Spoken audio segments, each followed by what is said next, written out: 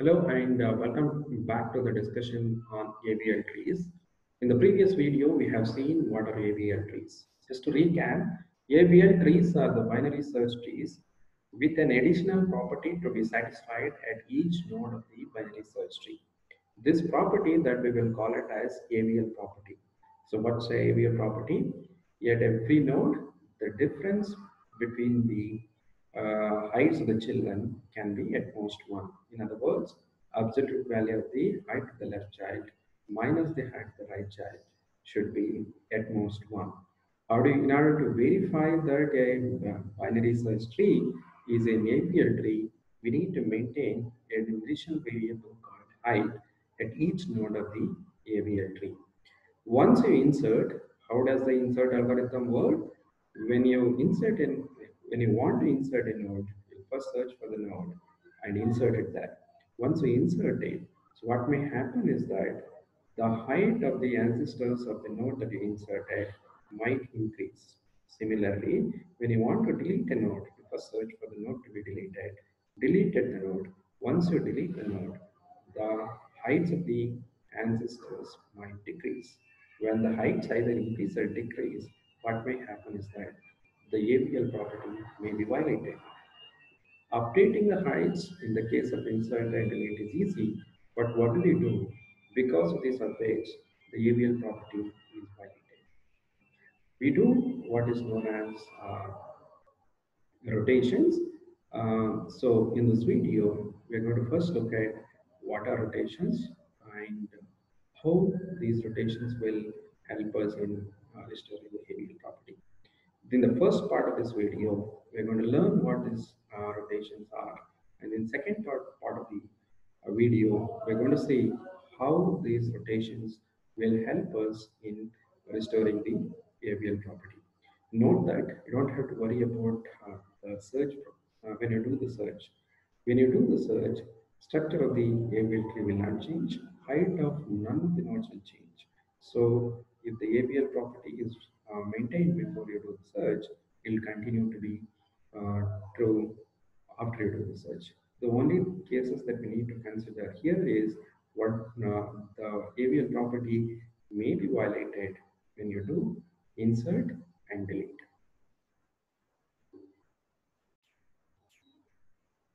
So let uh, Z be the node uh, where the AVL property is violated. The Z will have two, two children uh, and uh, since the AVL property is violated, uh, both of them will have different heights and so one will be at least two less than the height of the other one. So uh, let's uh, among the two children of Z, let's look at the uh, child which has the maximum height. So we will call that as Y. Y is the child of Z with the maximum height. So since y is the uh, child of z with the maximum height, height of z, z will be exactly equal to height of uh, y plus 1. Similarly, we will define x to be the child of y with the maximum height. In other words, h of y will be is equal to h of x plus 1. So the note that uh, since z is a node where the AVL property is violated, in the previous video towards the end, we have seen that height of this node should be at least 1 okay great uh, strictly greater than 1 so uh, x and y will be valid nodes in the AVL tree right? So the if the height is uh, at least 2 height of y is at least 1 and the height of x will be at least 0 so in other words x and y will be valid pointers these will not be null pointers now when we want to discuss uh, the rotations, uh, so what matters is what is the relative position of uh, x with respect to the parent, whether x is the left child or the right child. Similarly, whether y is the left child of z or the right child of z. So we have two options for y. You also have two options for x. So that gives us the four options. Let's consider these four options. Uh, the first case that I'm looking at here is that y is the left child of uh, z and x is a left child of y. And the second case, we'll call it as case 0, 1, 2, and 3. The, the, this first case is y is the left child of z and x is a right child of y. And the case 2 is y is the right child of z and x is a left child of z. And the last case, that's the case 3, is z, y is his uh, right child of z and x is also a right child of z, right side of y. So, so depending on the relative positions, uh, so we will classify it into four cases. The first one is also called as left left. The second one is called left right.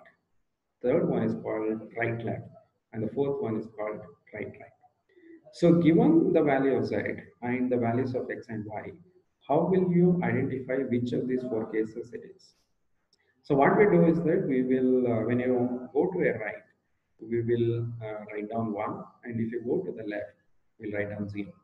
For example, in the first case, when you go left left, so what you have is 0 0. 0 is 0 is will correspond to the binary number corresponding to 0 0 is 0. So in the second case, first is left, after that you have a right term. So the binary uh, number that I'm going to assign to this is 0 1. So 0 1, the binary equivalent of this is 1. Similarly, in the uh, third case, the first I take a right term and then you take a left term. The binary number that I'm going to associate with this uh, case is 1, 0. And the third scenario is both the right, right. So I have 1, 1. 1, 1 is equivalent to 3. So it's easy to uh, identify which case it is. First, we have a variable which is c is equal to 0. If you're going to a right, increment the counter by 1, right? So that will uh, then you multiply, after you take the first term, you multiply the uh, variable by 2. So if you still have a 0, then you are in the first or the second case. If the variable is 2, then you are in the third or fourth case. Again, you do the same thing. If you take a left turn, don't change the counter. If you take a right turn, you increment the counter by 1. Let's do an example. If c is 0, uh, in the first case, uh, when I come to y, c will continue to be 0. I'll double it, continue to be 0. When I go to the left, I don't increment the counter, I get a 0. In the second case, uh, I don't increment the counter, it is 0, but I double it. After that, I take a right turn. When you take a right turn, I increment it by 1. So the, this becomes case 1. When you go to the third case, I first go to a right child, so I increment the counter by 1. I double the counter, then I take a left turn. When I take a left turn, the counter don't increase. So the count remains 2. In the third case, first I take a uh, right turn, I increment the counter by 1, then I double it, I get 2. And then I, since I'm taking the right turn again, I add 1. So this becomes 3. So once we have these three rotations, uh, the first uh, one and the last ones are called uh, zig-zig rotation, and the middle two are called zigzag rotation. So the zig-zig rotation comes from left left or right left, uh, right right. Zigzag uh, rotation comes from either the left right or right left. If the relative positions are same, either it could be left left or right right.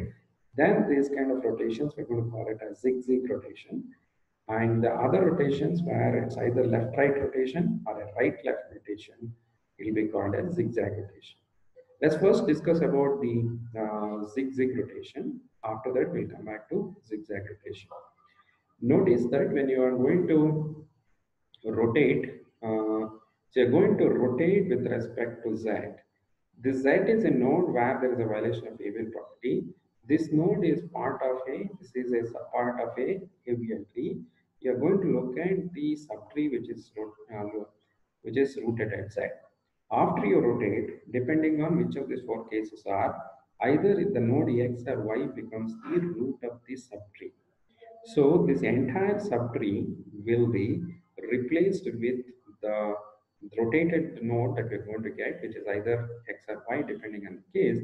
This entire subtree you're going to replace.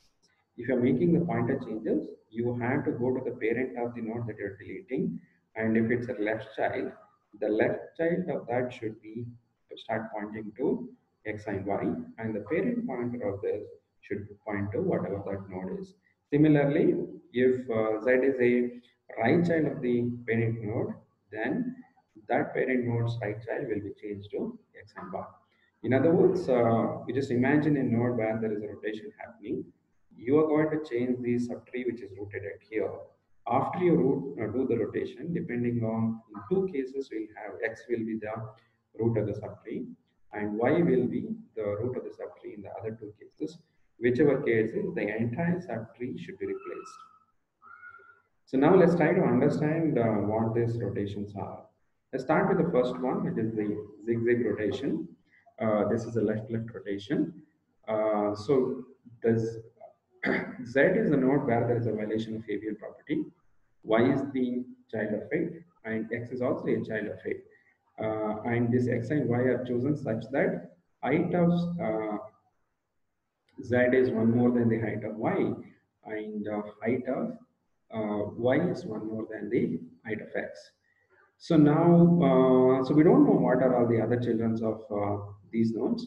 Let's say that T1 is the left child of X, T2 is the right child of X, uh, T3 is the right subtree of Y, and uh, T4 that I have is the right subtree of uh, Z. So the triangles indicate that uh, these are the subtrees. The circles indicates that these are individual nodes. So now when you are given uh, the um, subtree uh, on the left hand side, zig-zig rotation in this case, uh, when you do the rotation, you get the subtree on the right hand side. Y becomes the root of the node and X becomes the left child, Z becomes the right child. And the pointers of, so the left child of X is T1, right child of X is T, the subtree T2, the left child of um, the left subtree of um, Z is T3 and the right subtree of uh, Z is T4.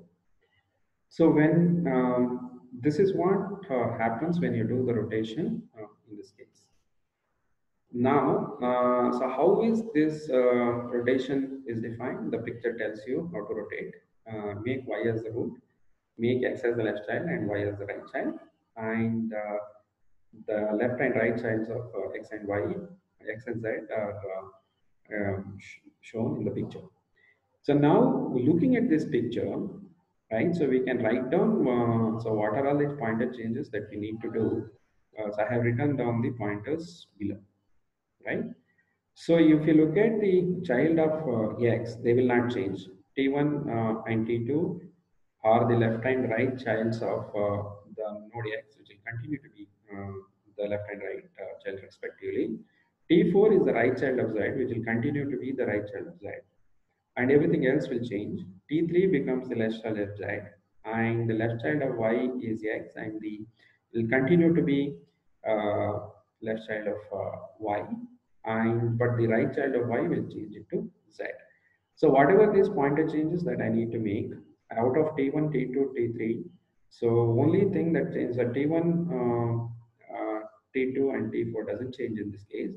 T3 by definition is the right child of Y okay and uh, so y right child becomes z and one z's left child is t3 and uh, uh, in the next line i'm updating what are all the pointer changes that needs to be made. T3's parent is pointing to z now. The parent pointer of t1 t2 t4 will not change.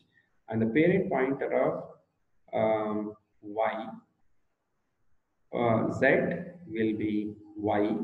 And the parent pointer of y is this is before I change the parent pointer of z right? So what I said is that this is a uh, z is a subtree so there is a parent for it right? So the y's parent will point will point to whatever that node is right? So that's what uh, this one is doing. So um, so one of the important property of this rotation is that if the, binary search property is uh, satisfied on each of these nodes uh, before the rotation, then the binary search property will continue to be true after the uh, rotation. In other words, uh, this rotation that we are defining preserves the binary search property. How do you verify that the trees have binary search property or not? So we know that you just do the in-order traversal of the binary search tree. If uh, it's uh, in increasing order, then uh, this uh, all these nodes will satisfy the binary search property. So now, so, uh, as I said before the rotation, if the binary search property is satisfied, you do the in-order traversal.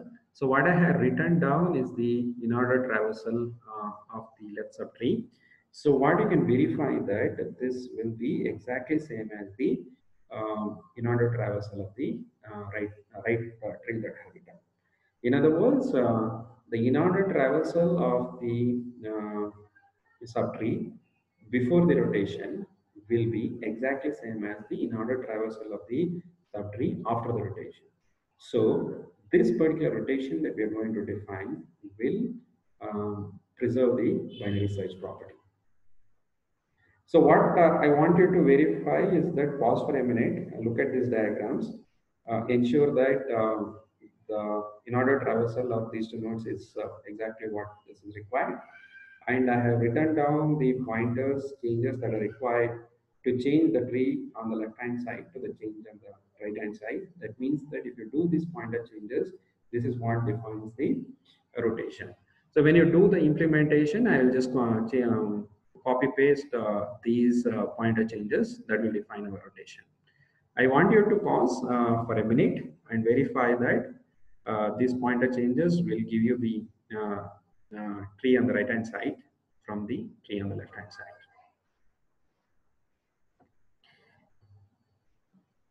So now let's look at the um, other case um, where uh, it's a right right rotation. Uh, the pointers T1, T2, T3, T4 are uh, shown as in the diagram. When you do the rotation, you get the uh, tree on the right side.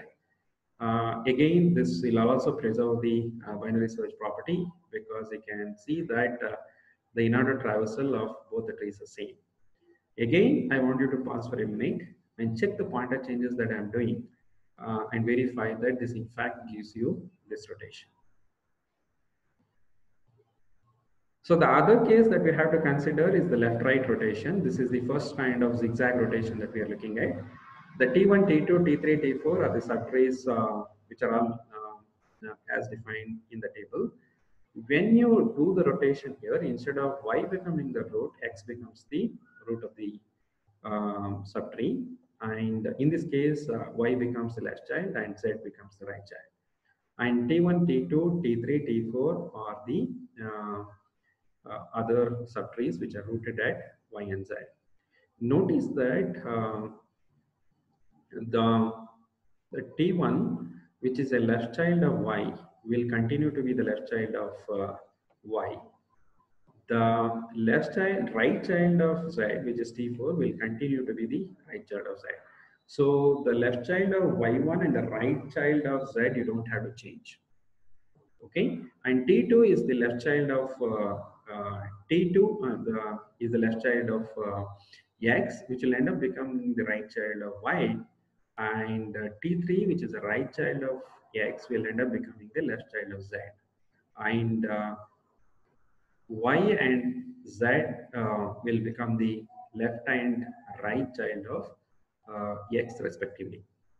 So what are the pointer changes that are required? It's written below. If you do these pointer changes, you get the tree on the right hand side from the tree on the left hand side.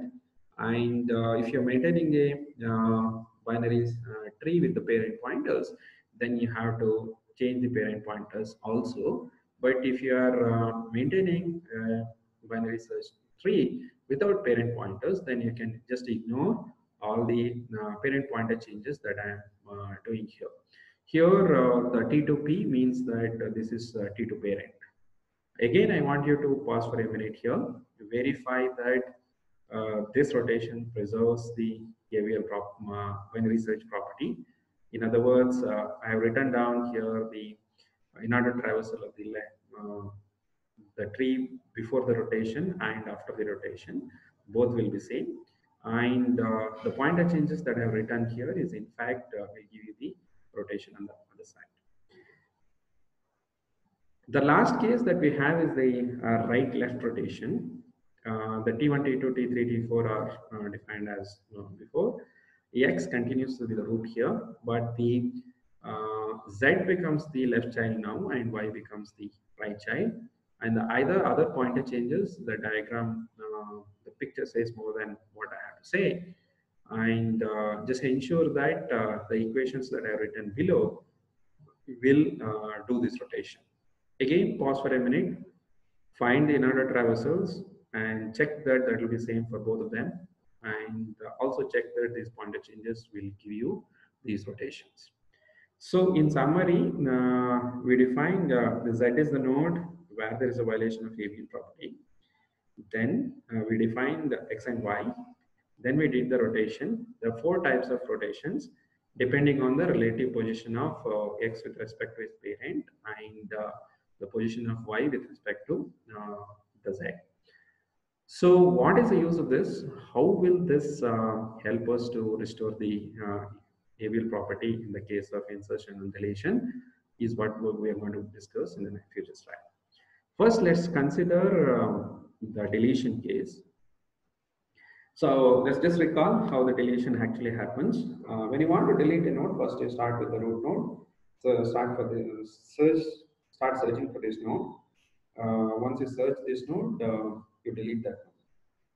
So there were uh, three cases. Uh, in the second case, we are only just going to replace this with the in order predecessor. In that case, uh, um, the height of the node which is replaced will not change. Okay, so we need to discuss only the first and second case where you are actually deleting a node with zero or one. So when you delete a node with uh, uh, the number of children is either zero or one, so what will happen is that the height of the parents may decrease. If the height of the parent decreases, then the height of the parent of the parent also would decrease. So once you did the insertion, you go to the parent, check if the height actually uh, changes. And if it changes, you have to keep going up all the way to update the heights appropriately. I repeat, height of the ancestor node of the node that you deleted might decrease. I mean, there's no guarantee that it will decrease. It may uh, decrease. In some cases, it may not. Because of this uh, decrease in the heights, uh, the AVL property in some of these nodes, uh, which are ancestor nodes of the node that you deleted, might be violated. So uh, after you delete a node, go to the parent and keep going to the parent. And when you go to a uh, node, you just check whether the AVL property is violated. If the AVL property is violated, you call the rotation function. So the rotation function will decide uh, the XYZ and do one of these four rotations. Uh, and then uh, you update the height of the node. If uh, the height does not change and the AVL property is also not violated, then you can stop that because height of this node is not changing. So the height of the parent nodes also will not change. Okay, uh, because I uh, increase, I uh, deleted a node in the subtree and the parent pointer's height did not change. So if you go to the parent of this node, will not change okay? So your uh, algorithm after inserting you keep going up. First check the AVL property is violated. The AVL property is violated call the rotation function with the node z which is the node where there is a violation of AVL property. Once you do the rotation update the height of this. And if the height also doesn't change and the AVL property of the node is also uh, not violated then you break out the loop right? So your insertion algorithm terminates that. Now uh, so when you do rotation, what really happens, right? So if uh, the do the rotation, let's look at the picture. So there are two symmetric cases of zigzag and uh, there will be two symmetric cases of zigzag. We will discuss only one of the zigzag and we will uh, discuss uh, one of the zigzag. The same will happen for the other uh, symmetric case. So let's start with the zig, zigzag. Let's call the height of z to be h. If the height of uh, z is h, then the height of y must be h minus 1. And the height of x should be h minus 2. Why is this? Because that's the way y is defined. y is defined such that the height of z is 1 plus the height of y. x is the child of y such that height of y is 1 plus the height of x. So, um, if the height of z is h, then the y should have h minus 1 height and x should have h minus 2 is the height. Now, can you, so this, we are discussing deletion and there is a violation of AVL property at z. And the height of z is h, uh, uh, 1 plus the height of y. Can you think of where did the, which subtree did the deletion actually happen? It's easy to see that the deletion actually happened in T4. So I deleted a node here, I went up, the height of this actually decreased. And when I went to the node here, earlier it was h minus 1, h minus 2. So there was no violation of AVL property, the difference was 1. But I deleted a node here, so which reduced the height of uh, T4 from h minus 2 to h minus 3. Uh, so there is a violation of AVL property, that's why I stopped at side.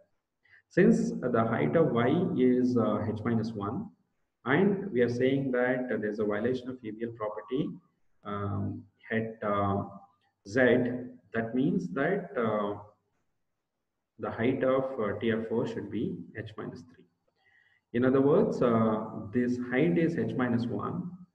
So if there is a violation of AVL property at z, then the height of T4 should be smaller than or equal to h minus 3.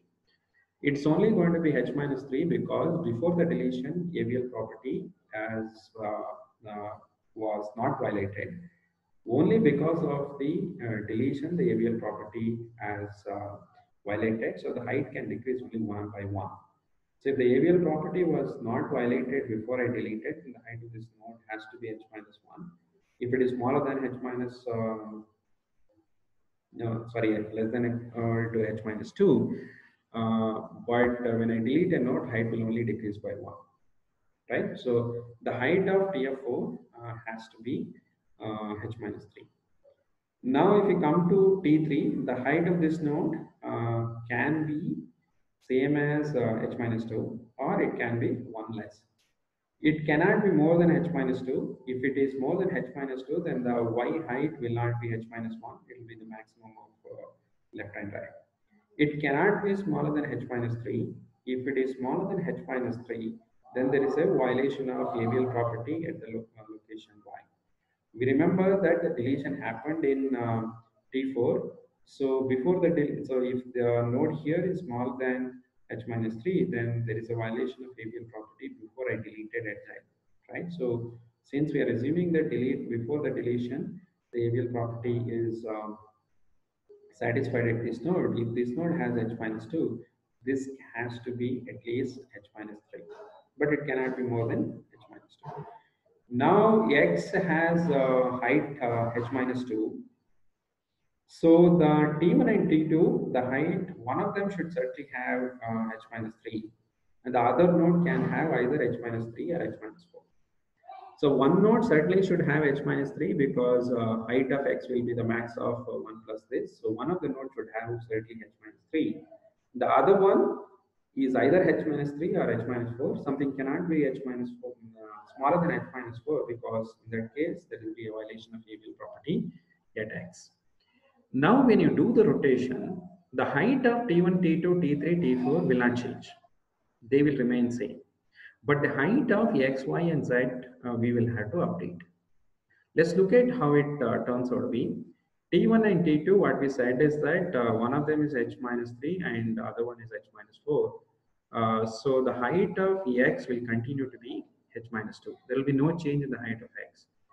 So T4 is h minus 2, h minus 3. T3 is either h minus 3 or h minus 4. So if T3 is h minus 2, then the height of z will be h minus 1 because I, in that case I will end up taking the maximum of h minus 2 and h minus 3 which is h minus 2 and plus 1 is h minus 3. If the height of T3 happens to be h minus 3 then the height of z will be uh, h minus 2. So the height of x will certainly h minus 2 but the uh, height of z will be either h minus 1 or h minus 2. Now let's come back to the height of z. If the uh, height of uh, z is h minus 1, then the height of y will be h. If the height of z is h minus 2, then the max of h minus 2 and h minus 2 will be h minus 1. Okay, uh, ma max of h minus 2 and h minus 2 plus 1 will be h minus 1. If the z has height h minus 1, then I have when I take the max of uh, h minus 2 and h minus 1, Get the max as h minus 1. So plus 1 will be the height which is h. Okay. So depending on the height of uh, the node T3, um, the height of the node Y will either be h or h minus 1. So before, uh, so the remember that uh, when I go to the node side, the first thing that I check is whether there's a violation of AVL property. So the H is before the uh, insertion, uh, sorry, deletion. So I first check violation and um, if there is a violation, I rotate it.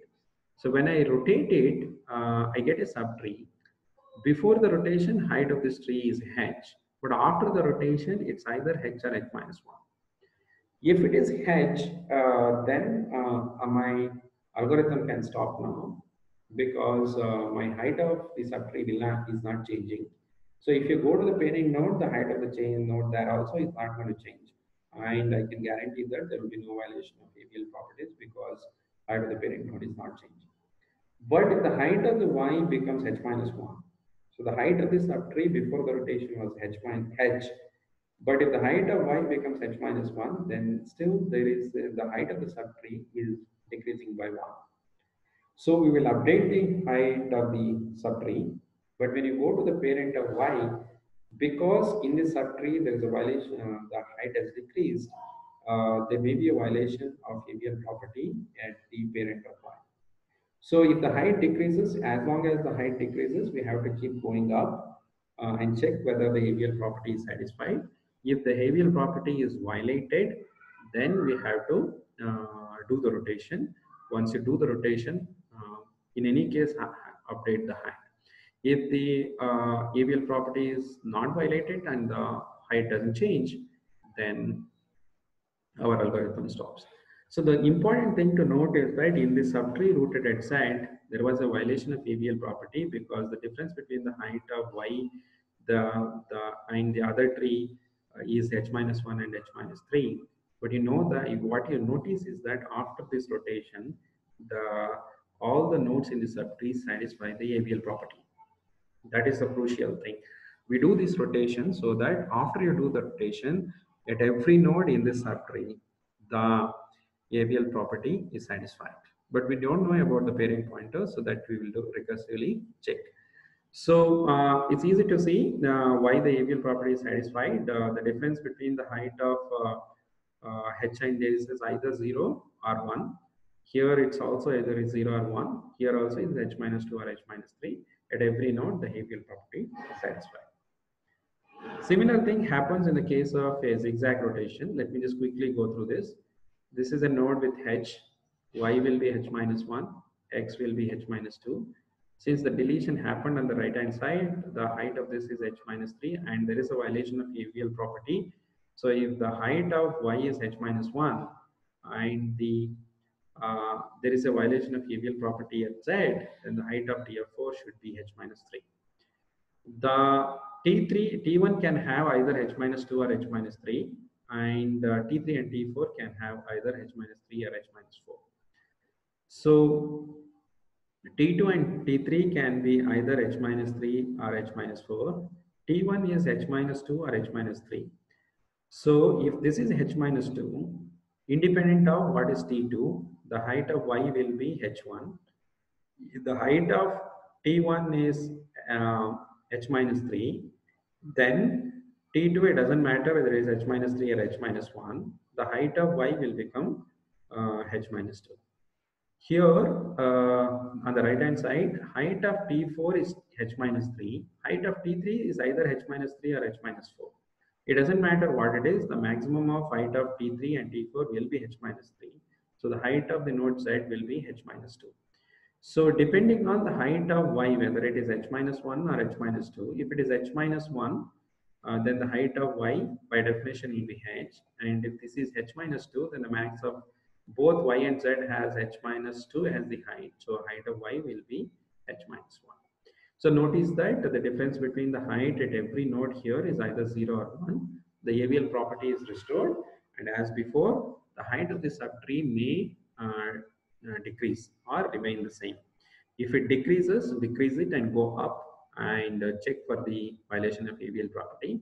If the AVL property is violated, again do the rotation and uh, the AVL property doesn't change, check if the height actually changes. If the height also doesn't change and the AVL property is also not violated, then your deletion algorithm uh, stops. So uh, notice that uh, in this case, uh, when you go up uh, in each of these nodes, you may have to do uh, deletions, uh, sorry, rotations all the time. So when you go up to the parent node, the parent node also might violate the AVL property. So you end up doing one more rotation there. So the number of rotations in this case can be as bad as order log n. So so one of the homework is just to create a AVL tree where uh, deletion of a node actually uh, requires uh, order um, log n number of um, rotations. More specifically, if the height of the tree is, let's say, is h, then create a tree, you know, AVL tree with height h, so that when you delete a node, uh, the number of uh, uh, rotations that you end up doing is, um, let's say, h minus 2. Okay, so whatever it is, uh, so the number of rotations that you are doing is order log n. Uh, so but each rotation here is a constant time operation, right? It requires just a few pointer changes. So the entire deletion algorithm uh, is uh, works in order log n. Now let's quickly move on to uh, the uh, addition. the insertion is slightly easier. When you insert a node, you go to the parent. So I inserted a node in this diagram so I came to this node, I go to the parent. This is the subtree where insertion happened. I go to the node and check whether the height of this actually is changing. Uh, if at all it's changing because I inserted on the right hand side, the height only increase now. If the height increases, increase the height. Once you increase the height, check whether the AVL property is violated. Okay. If the height of this node doesn't change, then uh, at this node, the AVL property cannot be violated. So our, algorithm stops, right? If the height doesn't change, then you don't have to check for the AVL property violation because the height doesn't change in this case will imply that AVL property is satisfied at this node. And if you go to the parent, height will not change, then the AVL property will not be violated. So now let's just quickly think about why if the height of this node doesn't change, then uh, the AVL property will be satisfied. Since I inserted on the right hand side, right? Yeah, so now when I come to this node, uh, if the height doesn't change, height of this node has actually increased, right? That's why I'm going up all the time. If the height of this subtree did not change, then I'm, my algorithm would not have reached that. Height of this node has increased, but the height of this is not changing. That means that the height of this node is divided by the height of the node on the other side. Okay, so the height of this node before the uh, insertion was smaller than the height of this. So height of this was 1 plus the height of this. So this, this was a smaller, the number of, uh, the height of this was uh, smaller than the height of the other child. So the height of this node was already height of this. So now you slightly increased it, right? So uh, which doesn't change the height of this. So height of this can at most become the height of this. So obviously there will be no change in the, uh, there is no violation of the AVL property. So the AVL property will be violated only when the case, when the height of this node is dictated by the height of this. And when the height of this, uh, right now before the insertion, if the heights are all, the this was one less than the height of this, right? The difference between the height was one and uh, when this node height increased, so when I went here, the height of this is increasing, but the difference was one, but since the height here has increased by one more, the difference suddenly becomes two. So there will be a violation of the AVL property. So what you need to check is that you go to a node, uh, check whether the height is updated. If the height is updated, then there will be no change in the, uh, the AVL property. You don't have to check. But if the height changes, then you check whether the AVL property is uh, violated. If there is a violation of AVL property, just call the uh, rotation function with that node which is side where there is a violation of AVL property. So your uh, um, so uh, your algorithm terminates when the height doesn't change.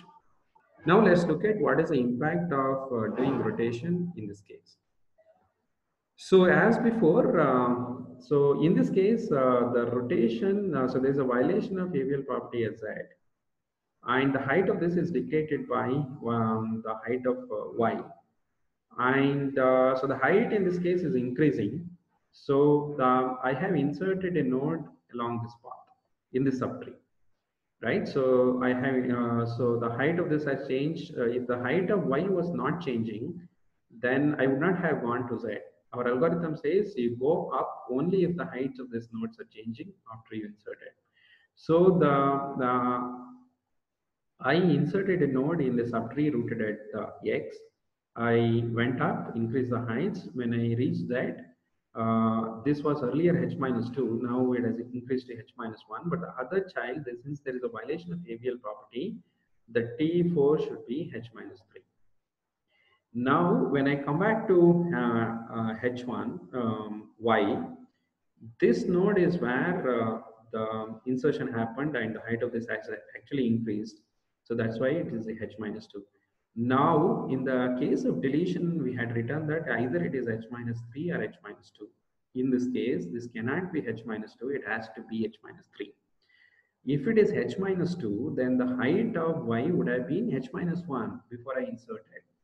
I inserted in the subtree rooted at y in this case, right? So if I had in, uh, inserted a node in this subtree, and if this had already h minus 2, then height of y would have been already h minus 1. So after inserting in the subtree rooted at y, when I come to the node y, the height of y would not have changed. So my algorithm would have stopped. My algorithm would not have continued uh, till z.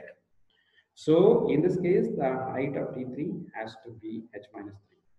But height of T1 and T2 can be either h minus 3 or h minus 4. The argument continues. Now this is either h minus 3 or h minus 4, but the T4 in this case is simply h minus 3. T4 is also h minus 3. The height of z is h minus 2. Irrespective of the height of T1 and T2, height of x will be h minus 2.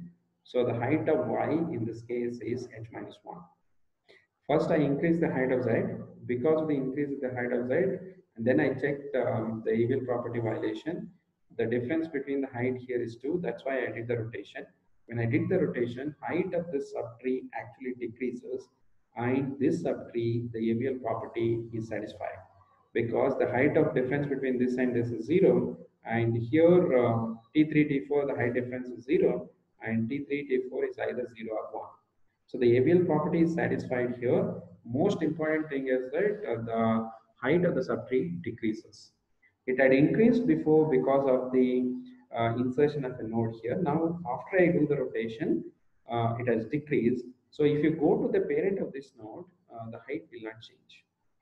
So our uh, insertion algorithm will just terminate. So if there is a violation of AVL property, uh, if you just do one rotation, uh, we will restore the AVL property. Let's look at the other case. It's exactly zigzag rotation. This is exactly same as before. Uh, so I started with uh, uh, Z, height is H, H minus 1, H minus 2. This is H minus 3 because there is a violation of AVL property. T3 and T4, it can be either H minus 3, H minus 4. T3 in T1 in this case has to be H minus 2. Sorry, H minus 3. It cannot be H minus 2 because I inserted a node in the subtree rooted at Z. Right? That's why the height of this increased. That's why I went to Y increase the height and then I reached y. If the height of y, uh, if the height of t1 is h minus 2 and before the insertion itself height of y would have been h minus 1. So even if I insert something here, height of y would not have changed. So my algorithm would have stopped at y, would not have gone up to z. So once the height of T1 is for sure is H minus 3, just come back. The height of T1 and T2, T3, 4 after the rotation will not change. It is only the height of x, y, z will change. So the height of T1 is uh, h minus 3. Height of h2 and h3 is either h minus 3 or h minus 4. So the height of T4 is h minus 3. The first one is h minus 3. The last one is h minus 3. In between is either h minus 3, h minus 4, doesn't matter. So when I compute the height of y, this will be the max of h minus 3 and h minus 3 or h minus 4. The maximum will be h minus 3. So the height becomes h minus 2. Here, one of the node is h minus 3, other one can be again h minus 3 or h minus 4. So when I take the maximum, the max turns out to be h minus 3. So the height of this node is h minus 2. Now, when I come to x, both the children has the same height. So the height of this will be h minus 1. So As you notice that in each of these nodes, the AVL property is uh, satisfied and height of the subtree reduces because of the uh, rotation, right? Height had increased because I inserted a node there. But when I did the rotation, height decreased. Now, if you go to the parent and check, uh, try to update the heights, it will not change. Okay, so because one height had increased, because the rotation it has decreased, so height of the this particular subtree is remaining same. So if you go to the parent, uh, the height of these nodes will not change. So the moral of the story is that um, um, when you do the uh, zigzag or zigzag zigzag rotation, either case, in the case of insertion, if you uh, you may have to do one rotation. Um, when you go to a parent node, the height may not increase. In that case, uh, uh, your algorithm terminates. Right? You don't have to do anything even if the height changes, you keep going uh, going up, changing the heights. Uh, there may be several changes in the heights. But if there is a violation of AVL property, you just stop there and do one rotation. After that, there will be no more changes in the height and uh, your algorithm terminates. So when you want to search, uh, one, when you want to add, you search for the location to add, that will take order log n.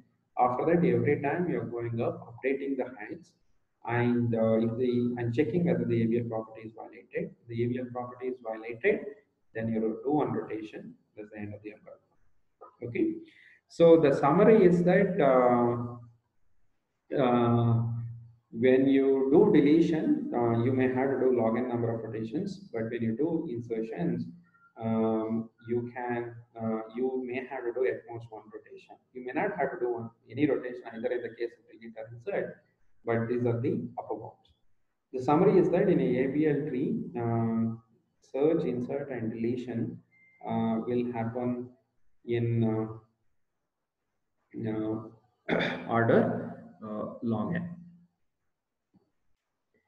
Yeah, that's the uh, end of this video. So uh, in the next video, we'll just quickly quickly look at the code for this insertions and deletion. So what we need to just look at is just copy paste the uh, code for the um, rotations that I have written. After that, uh, uh, just convert the algorithm for insert and deletion into the code. In the next video, I'll quickly show the code for it. And after that, we will look at some interesting applications of uh, the AVL trees. So we will take a quick break and come back and uh, look at the uh, implementation of uh, this deletion and insertion, more specifically the implementation of this Um, rotations that we just discussed.